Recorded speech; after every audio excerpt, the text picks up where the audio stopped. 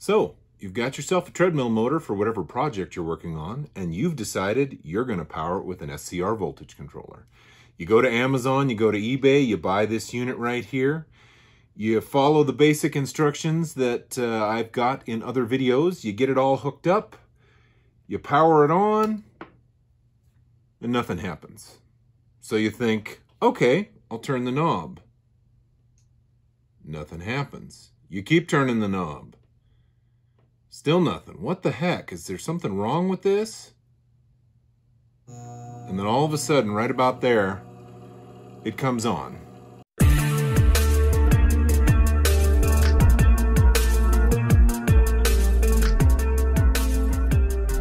Greetings fellow DIYer and welcome to my video. The problem is, inside this SCR voltage controller is a potentiometer. And the potentiometer that comes with this unit is way too big. But I'm going to show you what you need to know to be able to replace it with the correct one. A potentiometer is a variable resistor. What that means is as you turn the knob, the amount of resistance that this component supplies changes. The potentiometer that comes in this unit is typically a 500 kiloohm potentiometer. Now, when you look on the back, you'll see 500K. It's a common misconception that K means the type of measurement, but it's not. Ohms is the type of measurement. K just means by a factor of 1,000. So if we're going to compare a 500 ohm resistor to a 500K ohm resistor, the 500 ohm resistor is just that, 500 ohms. The 500K resistor would be 500,000 ohms. And like I said, that's typically what comes in this. And what that means is when it's all the way down, you're getting full resistance, 500,000 ohms. As you turn it, the ohmage decreases until you get to on or about zero. Now, in most cases, people will say to me, well, what potentiometer do I need? I want to get all the parts ordered and just tell me what I need. The simple answer is 120 kiloohms to 150 kiloohms.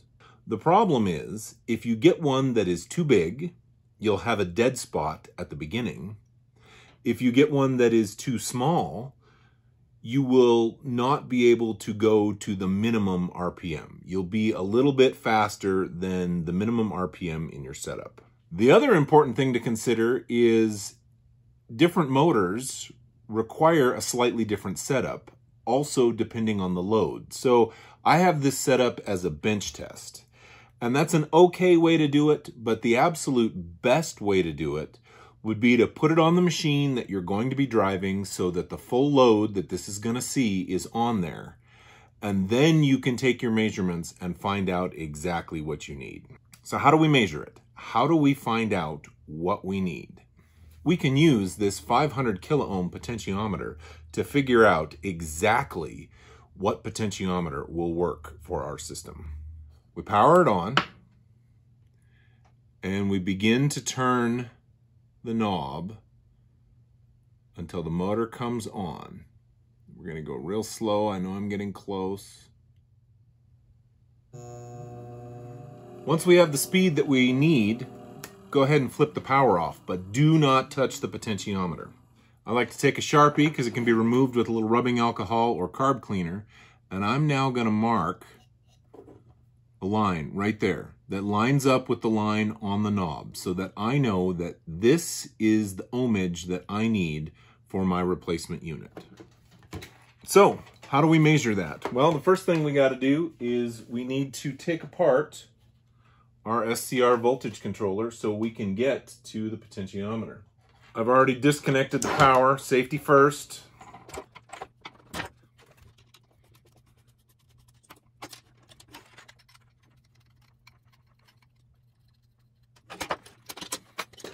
And here we have the basic unit right here.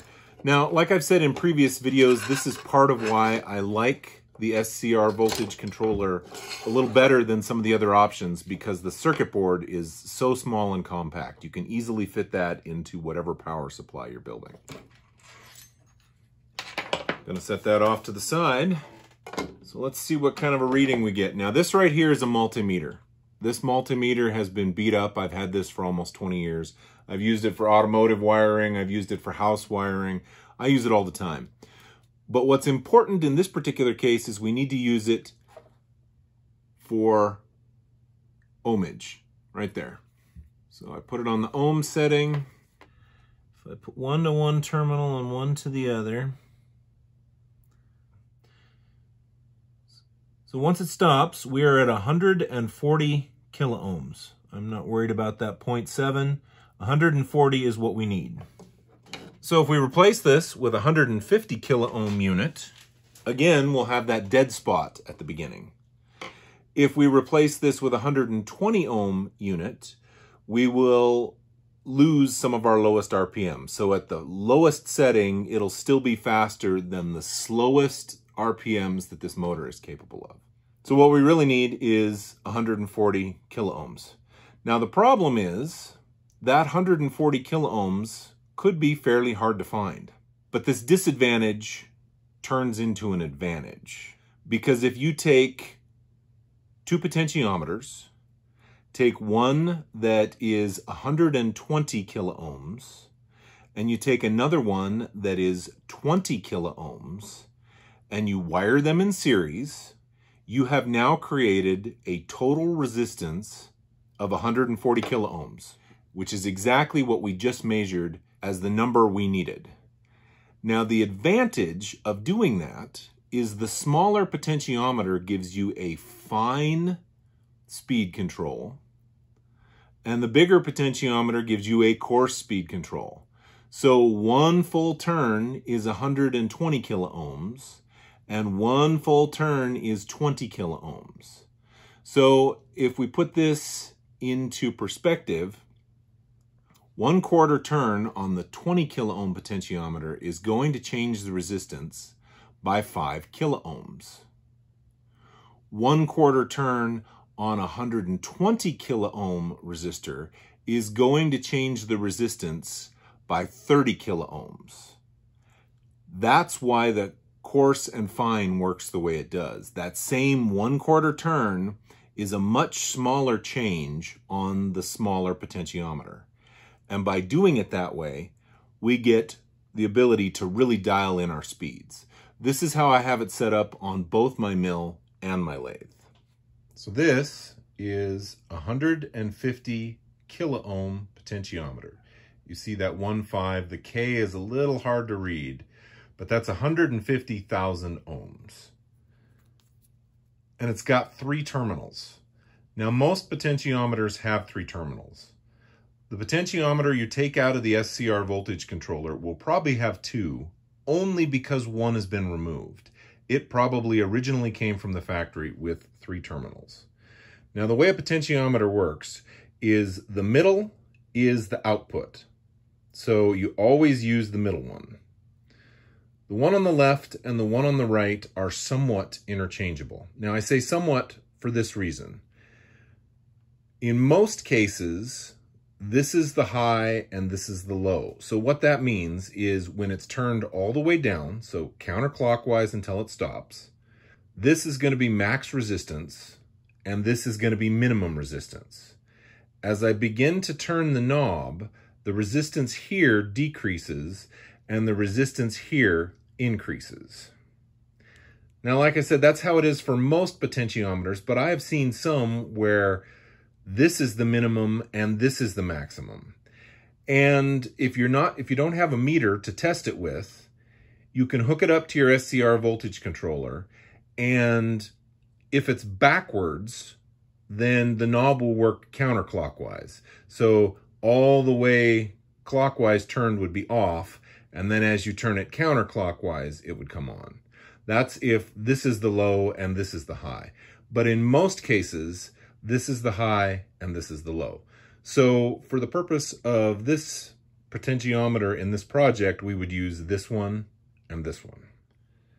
So let's say you want to do my suggestion of running two potentiometers.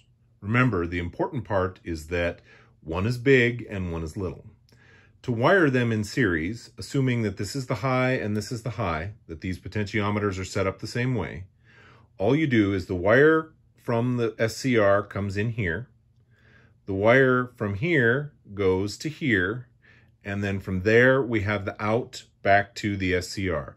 So that's how you wire those in series. So in the case of a 120 kilo ohm potentiometer and a 20 kilo ohm potentiometer, that will give you a combined resistance of 140 kilo ohms. And as you turn this one, it will slowly decrease it. As you turn this one, it will more quickly decrease it, giving you a fine and a coarse speed control. So I have it all put back together and I've installed the 150 kilo ohm potentiometer that I was showing you earlier. Now, the reason I did that was twofold. First, 150 kilo ohms is pretty easy to find. If you only want to use the one, the 150 is going to be close enough. But the second thing that I wanted to show you is that dead spot that's going to be created. So we power it on, nothing happens, we begin turning it, and it does take a little bit. So you have just a little bit of a dead spot right at the beginning. It's not a whole lot, but it's just that little bit less sensitive that this single potentiometer will be. I hope this helps. I hope this shows you a good way to change out your potentiometer and more importantly, a way to set up coarse speed control and fine speed control. If there's something you'd like to see, please don't hesitate to put a comment down below. I'll do my best to try and accommodate you.